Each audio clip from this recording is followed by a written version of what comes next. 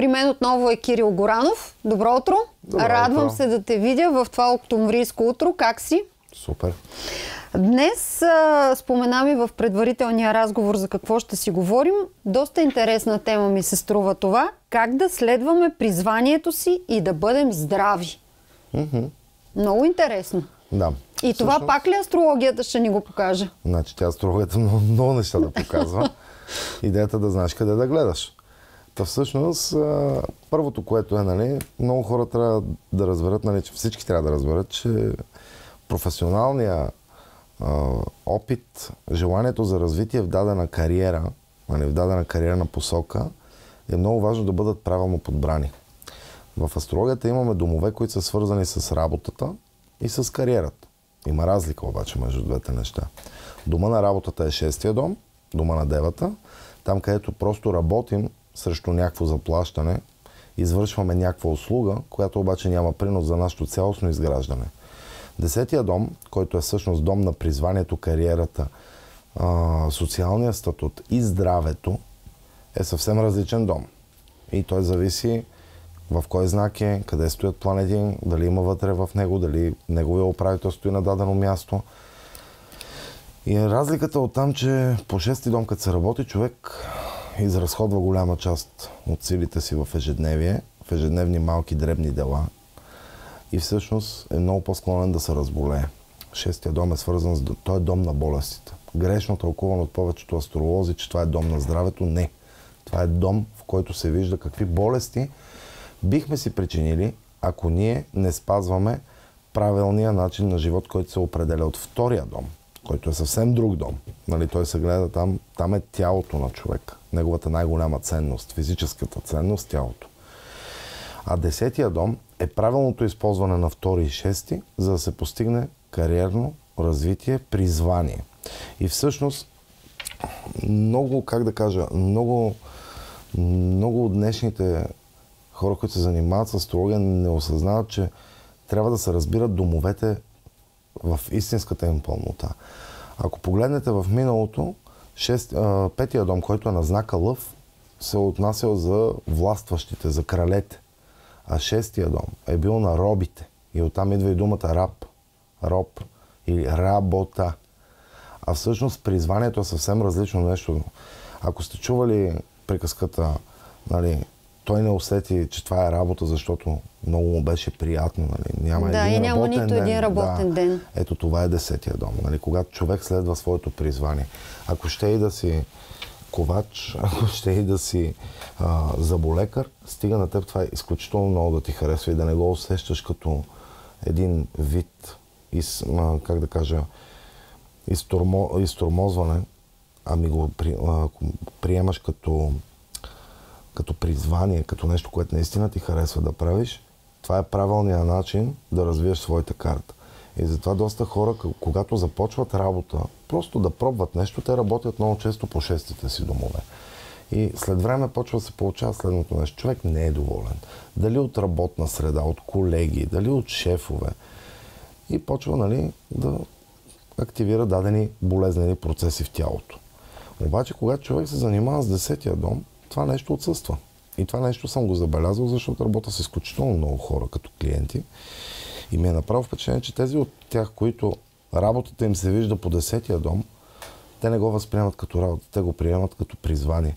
Да, там има нужда от повече време, защото самия десети дом той е свързан с знака Козирог, с планетата Сатурн. И трябва повече усилия, трябва повече време да мине. Но дава стабилно израстване на човек. А всъщност това е и домът на здравето. Ние сме го коментирали в предни предавания, Да. че всъщност Козирога е свързан точно с тази структура, последователност и намиране на правилно призвание. Добре, да, обаче тук ми хрумва друг въпрос, защото ние в момента живеем в едни, а, как да се изрази по-меко, трудни времена, в които повечето хора са приклещени от ситуацията, приклещени са от битовизмите и Те много често... са по шести дом. Да, и много, и много често самите ние си казваме, по-добре да имам работа, за да изкарам пари, с които да си посрещна нуждите, да си отгледам детето, да го изуча и така нататък. За да имам пари, и, да се лекувам, като се разболея. Да, искаме, да. не искаме, сме принудени в някои ситуации да поемем работа, която не ни е много приятна. В този ред от мисли обаче ти да, в едно от предишните ни предавания каза, че а, всичките тези ситуации, които се видят, ние може да ги отработим, за да се чувстваме по-добре. Може ли тогава в този случай, ако сме на някоя работа, която е просто работа, не нашето призвание, да отработим по някакъв начин а, ситуацията, за да стане малко или много тази работа малко по-приятна и да не се разболеем после? Значи има си начини вътре много специфични спрямо всяка карта които могат да спомогнат. Това е най-малкото, което е трябва да се промени самия стил на работа. И много често обаче повечето хора им е трудно и направо тръгват към десетия дом, което е по-правилният вариант. Има хора, при които комбинацията е следната. Значи, по шести дом и по десети дом показанията са еднакви. Така че тогава вече при тях много лесно става. Но това е при определени хора. А, а можем ли да, да усетим призванието си, без да сме се посъветвали с астролог? Всъщност да. Много интересно, че в ранните си години човек много добре усеща призванието си. Говоря нали, за възрастта до 6-та годишнина. И заради това аз много често задавам един малко така смешен въпрос, нали? Ти какъв искаш да бъдеш като малък? нали? Да, това, е, това е много, много любим въпрос. Да, но тук да се има предвид, нали, не, не човек какво е следвал като тенденции, налагано му от родители, приятели, познати, а какъв наистина е бил искал да бъде. И в крайна сметка... А може ли едно 6... Извинявай, че се прекъсвам. Едно 6 годишно дете наистина да осъзнае какво иска да бъде? Да, поради простата причина, че децата не са изкривени. Значи, децата адски, адски добре си играят картата. В смисъл, едно дете, като го погледнеш и като му погледнеш на талната карта, то си я играе на 100%. Няма как да има тази промивка от външния свят, средата, в която живее.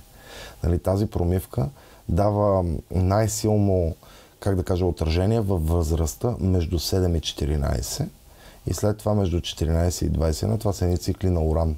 Когато пък е които, всъщност избора, който трябва да, да направим, избора, какво да обаче работим. той е свързан и с приспособяване много. Докато на детето до 6-7 годишнина се смята, че е изключително правилно се насочва към дадените теми. Стига родителите да са достатъчно отворени да му дадат свобода а не да го натискат да учи езици. Май по-обратното се случва по-често. Вижте се, аз затова, примерно, имам една много интересна инициатива, която гледам всяка година да я правя, когато мога събирам мои ученици астролози и правим така наречените безплатни хороскопи за деца с цел нали, правилно се насочат родителите, не да натискат едно дете, което е направено за математика, да го, да го натискат да учи езици или да се занимава с компютри, защото сега така разбираш е модерно, а по-скоро да си му дадат правилната насока. И искам да ви кажа, че най-интересното е първите пъти, като го правих това преди години, децата сами идваха понеже ги правихме на един басейн там в а, близо до Витоша, децата сами идваха и имаха интерес към астрологията. И това нещо е много интересно, защото те чули са нещо и са решили да дойдат. Много е забавно, когато видиш едно дете, което има доста силен дом на Водолей, 11-тия дом, и дойде да каже, аз искам да стана космонавт. Нали, примерно. Защото то, това е темата нали, на Водолея. Нали, те толкова чисто си играят картите децата, това трябва да се запази. За голям, до голяма степен обаче от прекалено, как да кажа, амбициозни родители, това нещо се потъпква понякога. Някои буквално не дават свобода на децата си, за да изразяват. И това нещо след време се отразява и в здравето. Това е както един велик човек беше казал, че а, ако детето ми е а, слабо по математика, а силно по тенис, аз ще му взема треньор по тенис, а не по математика. Mm-hmm. Еми така. А днешните родители вслушват ли се в съветите, както каза ти, тези инициативи, които правиш? Самите родители вслушват ли се в да. съвета, който им даваш ти и искат ли и те да видят, а, например, а, говорихме си за синастрия в предишните предавания, а, тяхната карта наложена на детето на картата и реално потенциалите, дали те са от тях или от другия родител? Да, виждат ги, доста се случват. Най-интересното в случая е, че наистина децата се раждат на, в правилното семейство и всъщност децата са учители на своите родители. Реално детето се явява урок на родителя. А другото нещо, което много обичам да казвам, е, че всъщност родителите създават, за, понякога създават правилните грешни а, условия за правилното развитие на детския хороскоп.